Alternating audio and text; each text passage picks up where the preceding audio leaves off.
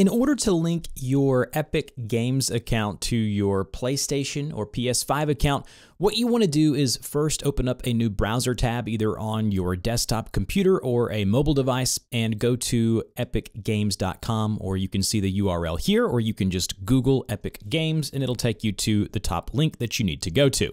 Once you're here, you want to sign in in the upper right hand corner. So click in to sign in and go ahead and sign into your Epic Games account. It may require you to type in a six digit security code sent to your linked email address. Go ahead and do that now. Once you've logged into your account, in the upper right hand corner, you'll now see your username. Just go ahead and click or tap on your username, and then you want to select account about midway down. And then once you've selected account, you're going to see something that says linked accounts over in the sidebar. Go ahead and click into linked accounts. And then you should see one of the first options is the PlayStation Network. Go ahead and click or tap link.